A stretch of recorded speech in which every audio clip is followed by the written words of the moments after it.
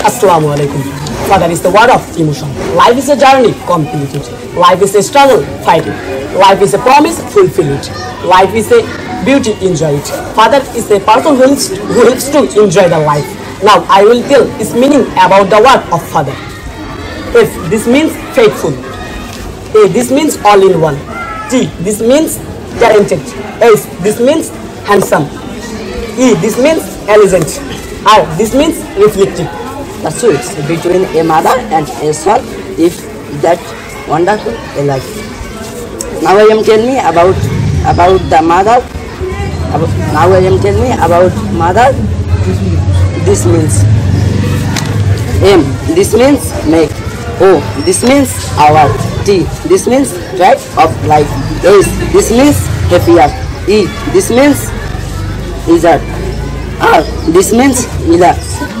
সবুজ আমার প্রিয় রং, শাপলা আমার প্রিয় ফুল, পাখির কুজন আমার প্রিয় সুর, শিশির বেচা ঘাসের উপর হাঁটতে হয় আমার প্রিয় অনুভূতি। আর আমার এই অনুভূতি অর্থাৎ আমার স্বপ্নগুলোকে বাস্তবে পরিণত করতে যে দুজন ব্যক্তি অসামান্য অবদান রেখেছেন, তারা হলেন আমার পিতা এবং মাতা। প্রথমে ধন্যবাদ জানাই আমাদের প্রধান শিক্ষক খুশিদুজ্জামান আহমেদ স্যারকে, যার কারণে আমরা এত সুন্দর একটি ভিন্ন ধর্মের প্রকল্প উপস্থাপন করতে পারছি। এর সাথে ধন্যবাদ জানাই আমাদের বিজ্ঞ বিচারক মণ্ডলী এবং আমাদের সামনে উপস্থিত সকল ছাত্রছাত্রী বিন্দুকে আজকে আমাদের প্রকল্পের নাম পিতামাতা এবং আমি। এবং আমাদের দলের নাম প্যারেন্টস লাভার সর্বপ্রথম আমার দলের সদস্যদের পরিচয় করিয়ে দিই। ওটা রাখি লিও আফরাস কৃপা, রাফি এবং হৃদয়। যার কারণে আমি বড়দের সম্মান করতে পারছি, যার কারণে আমি করতে পারছি ছোটদের স্নেহ। যার কাছে আমি শিখেছি সত্য কথা বলতে, যার কাছে আমি সততা শিখেছি। তিনি হলেন আমার পিতা এবং মাতা। আসুন প্রথমে জেনে আসি আমাদের এই প্রকল্পের ঐতিহাসিক পটভূমি। অর্থাৎ পিতা, মাতা ও আমি এর ঐতিহাসিক তুমি মহান পিতামাতা তুমি সম্মানিত একজন আলিঙ্গন। তোমার কারণে হোক বিশ্বই ভুবন আমরা এই পৃথিবী নামক গ্রহে বাস করি। আমাদের এই পৃথিবীতে নানা ধর্মের মানুষের বসবাস। এদের মধ্যে কেউ হিন্দু, কেউ মুসলিম, আবার কেউ বা বৌদ্ধ। আমরা ইসলাম ধর্মের অনুসারী। আমাদের আদি পিতা হজরত আদম আলাইসাল্লাম এবং আদিমাতা মা হাওয়া আলাইসাল্লাম তাদের সূত্র ধরে আমাদের জন্ম হয়েছে। মা বাবা আমাদের এই পৃথিবীতে আগমনের একমাত্র মাধ্যম। মা বাবা ছাড়া কেউ এমনি এমনি জন্মগ্রহণ করেনি। তাই আমাদের উচিত মা বাবার প্রতি শ্রদ্ধাশীল হওয়া। মহানবী হজরত মোহাম্মদ সাল্লাহ আলাইসাল্লাম বলেছেন, মায়ের পায়ের নিচে সন্তানের ভেস্ত। হিন্দু শাস্ত্রে মায়ের স্থান উল্লেখ করে বলেছে, জননী এবং জন্মভূমি স্বর্গের চেয়েও দামি। বৌদ্ধ ধর্মগ্রন্থ ত্রিপিটকে আছে, পিতামাতার সেবা করাই সবচেয়ে উত্তম। পাশ্চাত্য মনীষী রাজকেন বলেছেন এই পৃথিবীতে তিনটি কর্তব্য রয়েছে। Duty towards God duty towards parents and duty towards mankind তাই বলা যায়, সব ধর্মেই মা বাবার স্থান সবার উপরে। আবার বিজ্ঞানীরা এক্ষেত্রে ভিন্ন মত পোষণ করেছে। বিজ্ঞানী ডারউইনের মতে, বানর থেকে মানবজাতির উদ্ভব, অর্থাৎ মানবজাতির উদ্ভব হয়েছে বানর থেকে। কিন্তু বিভিন্ন ধর্মের লোকেরা এই ধারণা সম্পূর্ণরূপে অবিশ্বাস করেন। তাই বিজ্ঞান বা ধর্ম যাই বলুক না কেন, মা বাবার স্থান আমার কাছে সবার উপরে। কিন্তু আজকাল তথাকথিত অভিজাত সমাজে নিজের মূল্যবোধ বজায় রাখতে গিয়ে সন্তানের কাছে তার নিজের বৃদ্ধ বাবার স্থান হয় বৃদ্ধাশ্রম। আমাদের শিক্ষিত সচেতন সমাজের উচিত এটা রোধ করা। জগতের সব মহাপুরুষে মা বাবার প্রতি শ্রদ্ধাশীল ছিলেন। হজরত বাইজেদ বুস্তামি, ঈশ্বরচন্দ্র বিদ্যাসাগর সহ আরও অনেক মহাপুরুষে মা বাবার প্রতি যে শ্রদ্ধা দেখিয়েছে, তা ইতিহাসে স্মরণীয়। আমরা আশরাফুল মাহলুকাত সৃষ্টিজীব সৃষ্টিদের মধ্যে সেরা জীব। আর পিতামাতার কারণে আমরা এই পৃথিবী সূর্যের আলো সহ শুরু করে সব কিছুই উপলব্ধি করতে পারছি। এবার আমরা পিতামাতাকে সম্মানিত করার উদ্দেশ্যে একটি অনুকাব্য উপস্থাপন করব। মাতৃয়াজ্ঞা পালনার্থে হিরণাগর দীর্ঘ শ্বাস দুঃখকে কেটে সুখে থাকবে তুমি বারো মাস। যদি দেখে মায়, সেখানে তার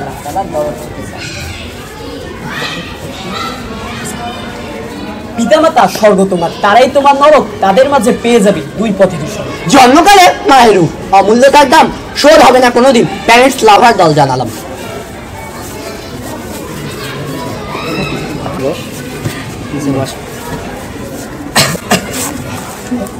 তুমি পিতামাতা, তুমি শিশুর মুখে ফোটাতে পারো? বিশ্ব জয়ে আসা আজকে আমি যে বিষয়টি সম্পর্কে বলতে এসেছি, সেটি হচ্ছে, শিশুকাল থেকে অর্ধাবতী পর্যন্ত পিতামাতার প্রভাব ও গুরুত্ব। শিশুকাল, অর্থাৎ আমাদের শৈশবকালকে বোঝায় অর্ধাবতী আজ পর্যন্ত। শিশুকাল থেকে অর্ধাবতী বলতে বোঝায় শৈশবকাল থেকে আজ পর্যন্ত পিতামাতার প্রভাব ও গুরুত্ব অপরিসীম। যিনি আমাকে প্রথম শিখিয়েছেন কীভাবে বড়দের সম্মান করতে হয় এবং ছোটদের স্নেহ করতে হয়, সে দুজন শ্রেষ্ঠ মানুষই হচ্ছেন আমার পিতামাতা। জন্মের পর একটি শিশু নিজে নিজেই চলতে পারে না। আর বিনা পারিশ্রমিকে যিনি চলতে শেখান, তিনি হচ্ছেন শিশুর পিতামাতা। এই সময় শিশু, এই সময় পিতামাতা শিশুকে উদ্দেশ্য করে বলেন এই ছোট্ট ছোট্ট পায়ে চলতে চলতে ঠিক পৌঁছে যাবে। হ্যাঁ ঠিক পৌঁছে যাবে গন্তব্যের স্থানে। আবার জন্মের পর একটি শিশু নিজের খাদ্য নিজেই তুলে খেতে পারে না। আর শিশুর মুখে সর্বপ্রথম যিনি খাদ্য তুলে দেন শিশু, তিনি হচ্ছেন শিশুর পিতামাতা। উঠানের চাঁদ দেখিয়ে সুন্দর সুন্দর ছড়া বলিয়ে শিশুর মুখে খাদ্য তুলে দেন। সাধারণত শিশুদের অনুকরণ প্রক্রিয়া প্রিয় হয়ে থাকে। তাই বড়দের আচার আচরণ শিশুদের প্রভাবিত করে। তাই একজন পিতামাতা চান তার শিশুকে একজন উত্তম চরিত্রের অধিকারী করে তুলতে। অবশেষে আমি বলতে চাই পরিশেষে বলতে চাই পিতামাতার প্রভাব ও গুরুত্ব কোনো বিকল্প নয়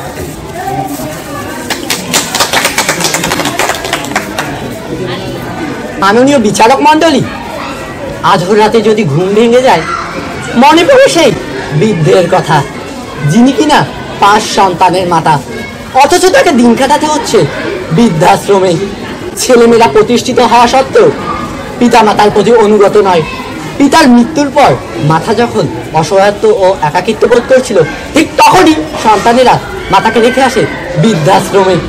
ছেলেমেয়েরা বিশাল অট্টালিকায় বসবাস করা সত্ত্বেও মা বাবার জন্য একটি মাত্র ঘর বরাদ্দ দিতে পারল না। মাননীয় মডারেটর, এই যদি হয় সন্তানের প্রতি ভালোবাসা পিতামাতার ভালোবাসা, সন্তানের পিতামাতার প্রতি ভালোবাসা, এই যদি হয় সন্তানের পিতামাতার প্রতি দায়িত্ববোধ, তবে এখনই সময় এসেছে ভাববার, এখনই সময় এসেছে শপথ নেবার। এই মধ্য থেকে সকলকে শপথ গ্রহণ করতে হবে, আর যেন একটিও বৃদ্ধাশ্রম গড়ে না ওঠে, এবং নিজ নিজ স্থান থেকে সবাই উপলব্ধি করতে পারে যে পিতামাতার কষ্টের প্রতিচ্ছবি। কারণ ত্যাগ মাননীয় মডারেটর আজকে আমরা পিতামাতাকে সম্মান করছি না। ভবিষ্যতে এর অবস্থা কতটুকু দাঁড়াবে? পিতামাতার সম্মান আজ কতটুকু বেঁচে আছে?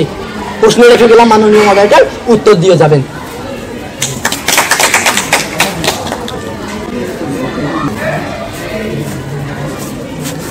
আমার কাছে মা বাবা দিয়ে সেলাই বক্সের মতো। দিয়ে সেলাই বক্স যেমন কাঠিকে আগলে রাখে, ঠিক একইভাবে মা বাবা তার সন্তানকে আগলে রাখে। আমার কাছে মা বাবা সবচেয়ে প্রিয়। আমার কাছে মা বাবা যে কারণে প্রিয়, তা আমি আমার বাস্তব জীবনের উদাহরণের মাধ্যমে বলছি। আমি যখন তৃতীয় শ্রেণীতে পড়ি, তখন আমার সর্বশৈলে ব্যথার সৃষ্টি হয়। প্রথমে আমি কাউকে বলি না, কিন্তু যখন আমার ব্যথা তীব্র হয়ে যায়, তখন আমার পরিবারের সবাই জেনে যায়। তখন আমার মা বাবা আমাকে গ্রাম্য চিকিৎসকের কাছে নিয়ে যায়। কিন্তু তাতেও আমার কোনো উন্নতি হয় না। তখন আমার মা বাবা আমাকে নিয়ে যায় শহরের চিকিৎসকের কাছে। তখন চিকিৎসক আমার পরীক্ষা নিরীক্ষা করে বলেন যে এটি একটি বাত ব্যথা। তখন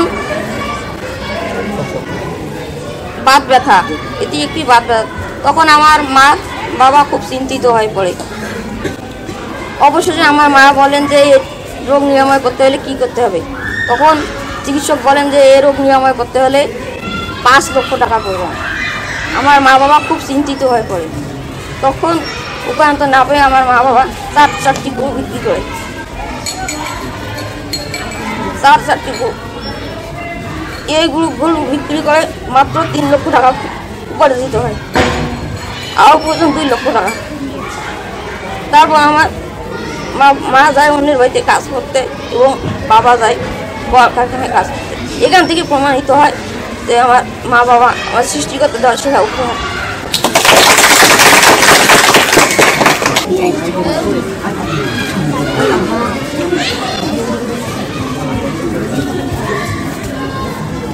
প্রত্যেকেই তার মা বাবাকে ভালোবাসে, প্রত্যেকেই তার পিতা মাতাকে পছন্দ করে।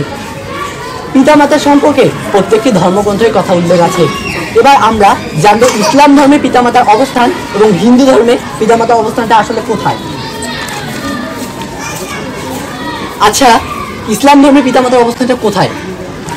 ইসলামের মা ইসলাম মা বাবাকে সর্বোচ্চ মর্যাদা- মর্যাদার আসনে আসীন করেছে। পবিত্র কোরআনে আল্লাহ পাক ইরশাদ করেন, অবিল ওয়ালিদাইনি ইহসানা। তোমরা আল্লাহ আল্লাহর ইবাদত করো এবং মা- মা- মা বাবার প্রতি সদাচরণ করো। এই আয়াতে আল্লাহর ইবাদতের সঙ্গে মা বাবার প্রতি ভালো ব্যবহারের কথা উল্লেখ করে এর গুরুত্ব বোঝানো হয়েছে। অর্থাৎ এখান থেকেই বোঝা যায় ইসলামে মা বাবার গুরুত্ব কত বেশি। ধন্যবাদ আপনাকে। আচ্ছা ইসলাম ধর্মে তো উনি বলল আপনার মতে হিন্দু ধর্মে পিতামাতার অবস্থান আসলে কোথায়? ইসলাম ধর্মের মতো হিন্দু ধর্মেও মা বাবার স্থান সৃষ্টিকর্তার পর। হিন্দু ধর্মে একটি শ্লোক আছে পিতার সম্পর্কে, সেটি হচ্ছে পিতা স্বর্গ পিতা ধর্ম, পিতাই পরম পরমান্ত করি পৃথিবীমা বর্ণে প্রিয়ন্ত সর্বদেবতা। অর্থাৎ পিতাই স্বর্গ পিতাই ধর্ম, পিতাই শ্রেষ্ঠ তপস্যা। পিতা সন্তুষ্ট হলে সকল দেবতা সন্তুষ্ট হয়। আর মাতার সম্পর্কে একটি শ্লোক আছে সেটি হচ্ছে জননী জন্মভূমিষ স্বর্গাদপি গরিষী অর্থাৎ মা ও জন্মভূমি স্বর্গের শ্রেষ্ঠ স্থান। ধন্যবাদ আপনাকে। শুধু ইসলাম ধর্ম আর হিন্দু ধর্মে নয়। খ্রিস্টান ধর্মে এবং বৌদ্ধ ধর্ম, শিখ, যতগুলো ধর্ম আছে, সবগুলোতে পিতামাতার নাম উল্লেখ আছে। পিতামাতাকে সম্মান করতে বলা হয়েছে। তাই আমাদের সকলের উচিত পিতামাতাকে সম্মান করা।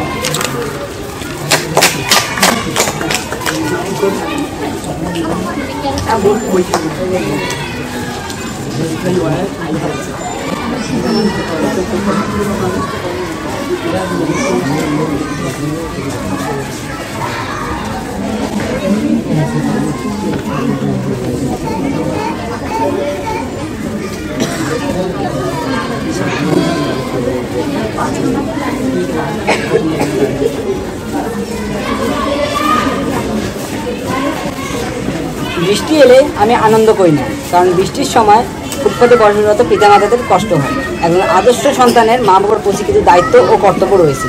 আমি এখন সে সম্পর্কে বলব। একজন আদর্শ সন্তানের মা বাবার প্রতি সর্বপ্রথম দায়িত্ব হলো তার যোগ্য সম্মান দেওয়া। আমাদের জীবনে সবচেয়ে আপনজন ব্যক্তি হচ্ছে পিতামাতা। হাদিজে আছে, সৃষ্টিকর্তার পরেই পিতামাতার স্থান। আর মায়ের পায়ের নিচে সন্তানের বেহেস্ত। পিতামাতার মাধ্যমেই আমরা পৃথিবীতে জন্মলাভ করতে পেরেছি। পিতামাতা আমাদের জন্মের পর থেকে সব সময় আমাদের জন্য নিজেদের সকল আনন্দ সব কিছু বিরো আনন্দগুলো বিসর্জন দিয়ে শুধুমাত্র আমাদের জন্য পরিশ্রম করে দিয়েছে। পৃথিবীতে তাদের কোনো তুলনা হয় না। তাই আমাদের উচিত তাদের যোগ্য সম্মান দেওয়া, তাদের সাথে ভালো ব্যবহার করা, তাদের কথা মতো চলা। বৃদ্ধ বয়সে তারা নবজাতক শিশুর মতো অসহায় হয়ে পড়ে। তখন আমাদের উচিত তাদের বোঝা না মনে করে তাদের যোগ্য সম্মান দেওয়া। ধন্যবাদ।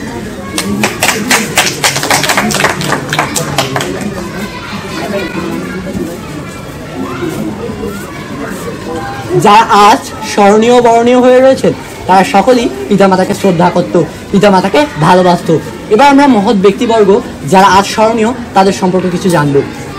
পিতা শ্রদ্ধা মায়ের টান পিতা শ্রদ্ধা মায়ের টান সেই ছেলে সাম্যকান পৃথিবীতে আজও যারা ছিল স্মরণীয়, বরণীয়, তাদের মধ্যে ছিল পিতৃভক্তি ও মাতৃভক্তি। অর্থাৎ মোহাম্মদ সাল্লাহ সাল্লাম ও আব্দুল কাদের জিলানির প্রমুখ ব্যক্তি যারা পিতা মাতাকে সম্মান করার জন্য আজও পৃথিবীতে স্মরণীয়। আপনারা লক্ষ্য করলে দেখবেন যে মাননীয় প্রধানমন্ত্রী শেখ হাসিনাও এখনও এক উজ্জ্বল দৃষ্টান্ত।